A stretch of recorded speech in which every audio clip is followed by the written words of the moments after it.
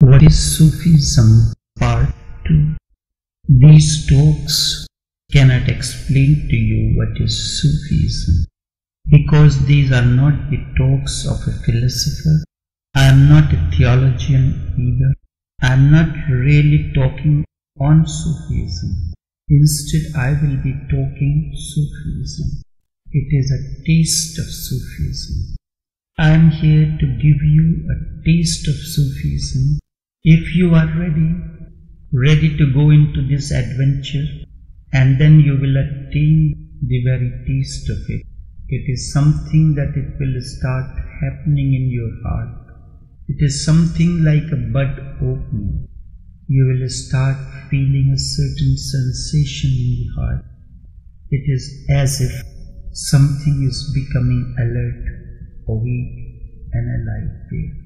It is as if the heart has been asleep for a long time, and now it is the first glimpse of the morning, and thus you will have the taste.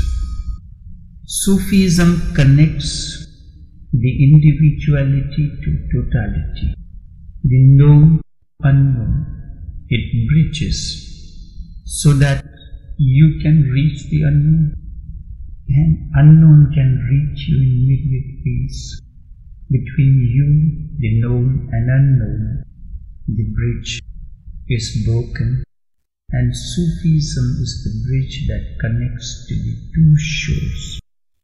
Sufism is a special kind of magic, a rare kind of magic. It can be transferred only from a master to the disciple, not from book. It is ilm sina. Ilm means knowledge, sina means heart, heart to heart communion, or the knowledge of the heart. It cannot be transferred by scriptures no way can this be communicated through the mind. It is also like Zen, a transmission beyond words.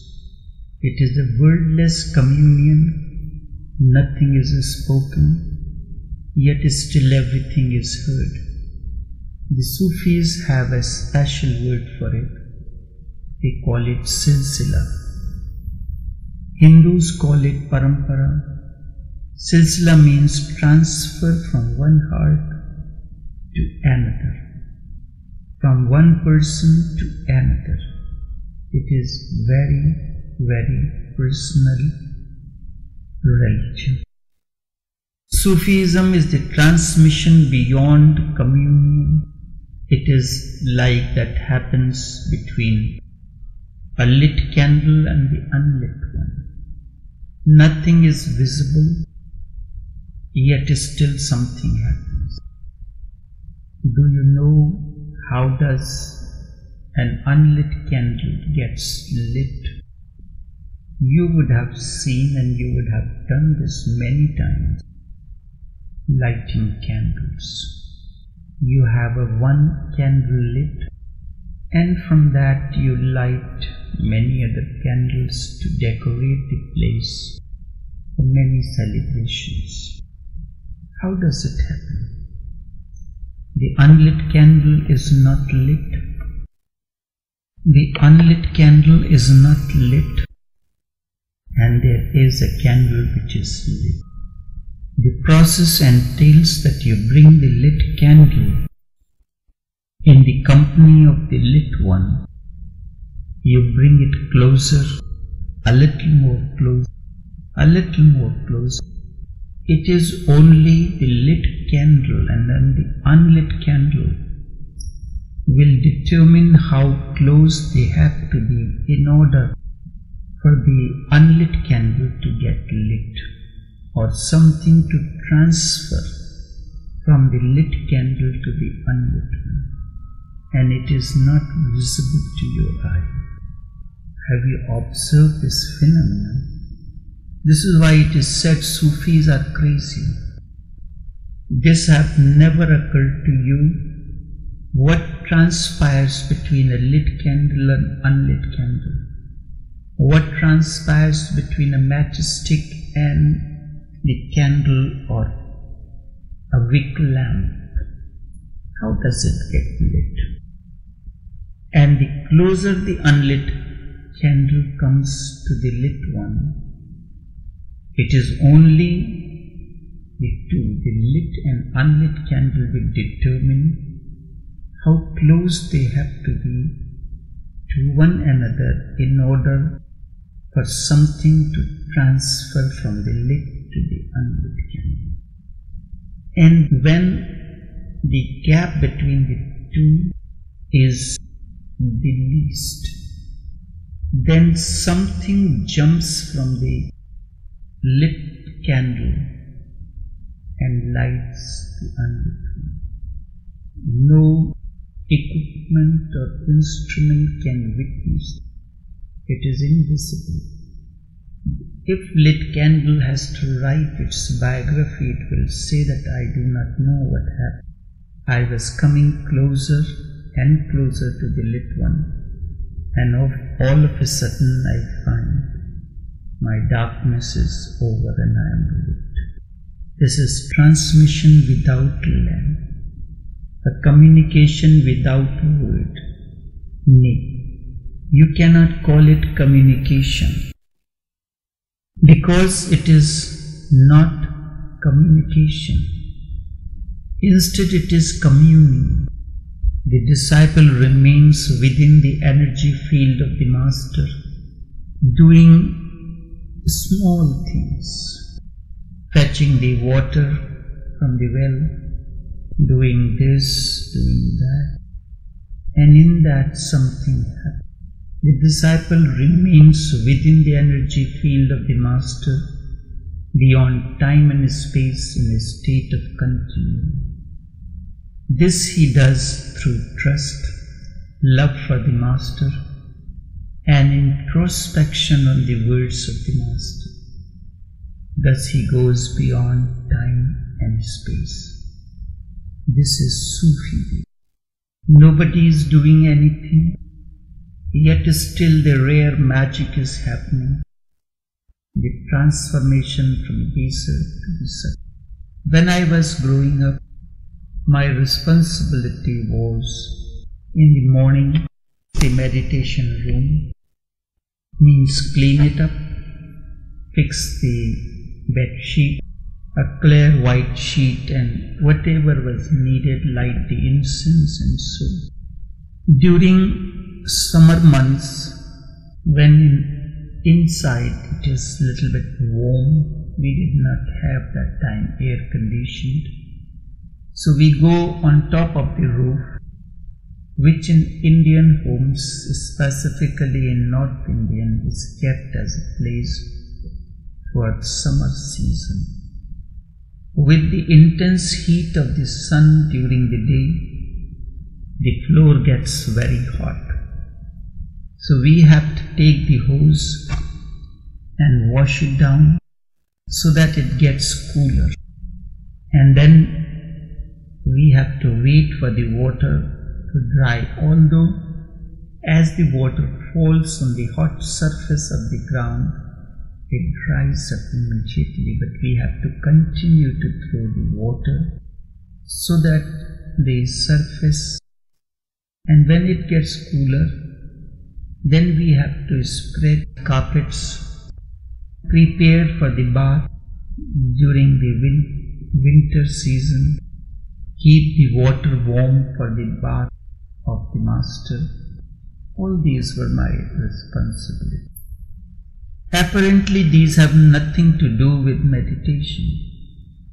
So one day I complained to my grandmother that I am doing all these superficial things and nobody tells me to do any the odd jobs. She did not say anything. In the night, I used to spend some time with her before going to bed.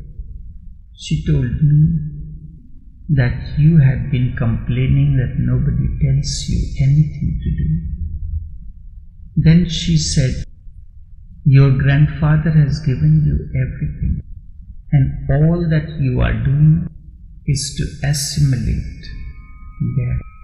to actualize all that has been given to you. Whenever you are within the energy field of the Master, remember you are around the Master out of your love. for Him. And then whatever you do, everything becomes meditative.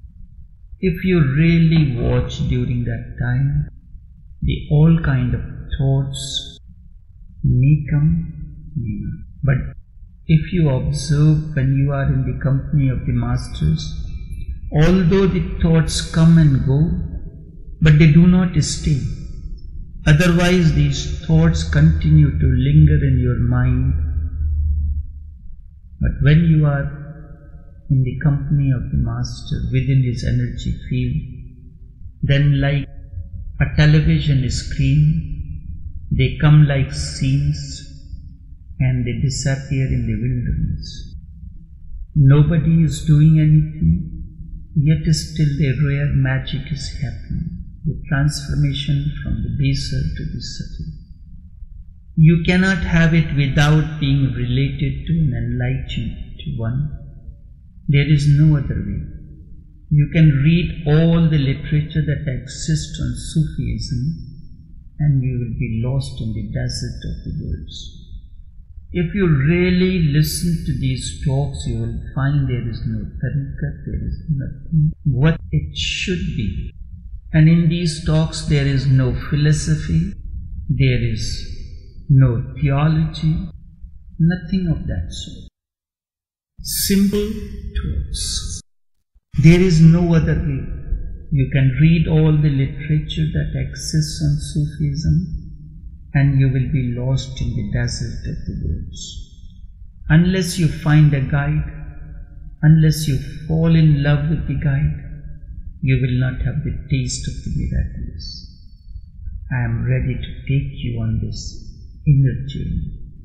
It can happen only if you are courageous and adventurous. Only courageous people get attracted towards the real.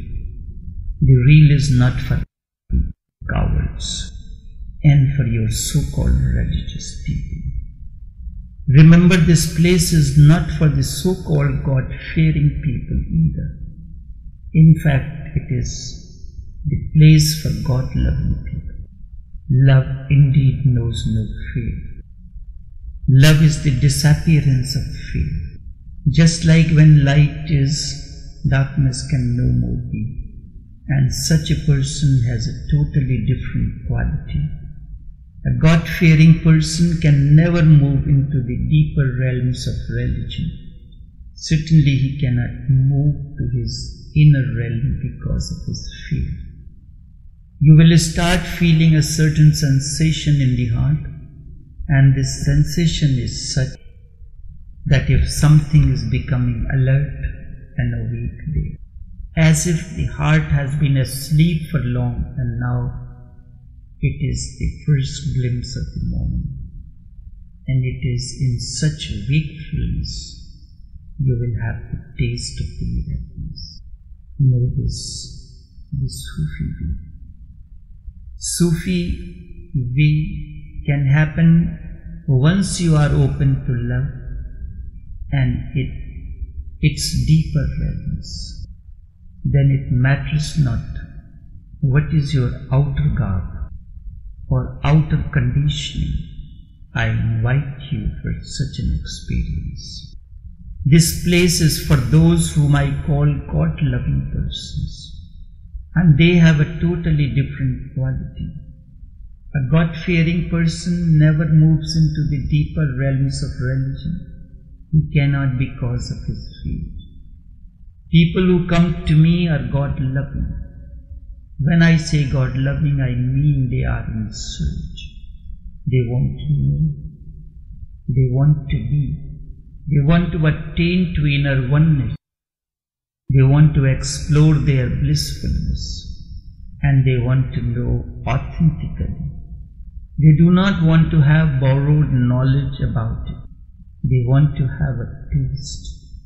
They want to encounter. They want to face God. They want to look into His eyes. And this is what I am making available to you.